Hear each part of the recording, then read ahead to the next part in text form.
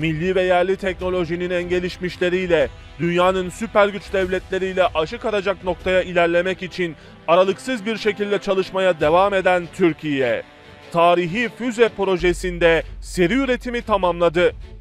Üretilen 300 civarında Bora füzesinin Türk Silahlı Kuvvetleri'ne teslim edildiği açıklandı. Böylece Roketsan tarafından başlatılan Milli Balistik Füze Projesi Bora nihayete erdirildi. Projede üretimin tamamlanmasıyla birlikte Roketsan mühendisleri yeni nesil füze projelerine yönlendirilirken Bora füzeleri 250 kilometre menzilleriyle Türk düşmanlarının korkulu kabusu halinde.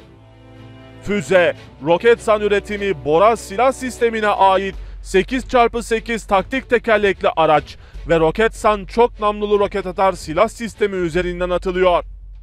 Kullanıcı ihtiyaçları doğrultusunda entegrasyon için uygun arayüze sahip diğer taktik tekerlekli araç platformlarından da fırlatılabilen Bora füzesi kanıtlanmış muharebe yeteneği, 7-24 her türlü hava ve arazi şartında kullanım, kısa atışa hazırlık süresi, yüksek vuruş hassasiyeti, düşük istenmeyen etki, aldatma ve karıştırmaya karşı dayanıklı yapısıyla, yüksek doğrulukta tespit edilmiş hedefler, topçu ve hava savunma sistemleri, radar mevzileri, toplanma bölgeleri, lojistik tesisler, komuta kontrol ve haberleşme sistemleri ve yüksek öncelikli diğer hedeflerin taktik anlamda imha edilmesi için nokta atış kabiliyetini Türk Silahlı Kuvvetleri'nin envanterine sunuyor.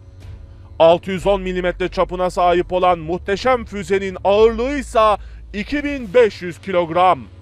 2,5 tonluk bu devasa füzenin menzili ise yaklaşık olarak 250 ile 280 kilometre arasında.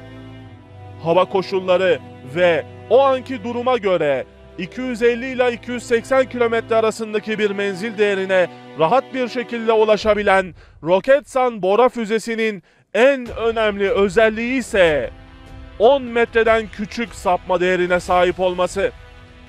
Yani Türk Silahlı Kuvvetleri'nin envanterindeki bu muhteşem füze 280 kilometre mesafeyi gidiyor ve bulduğu hedefi sadece 10 metrelik bir sapma payıyla vurabiliyor.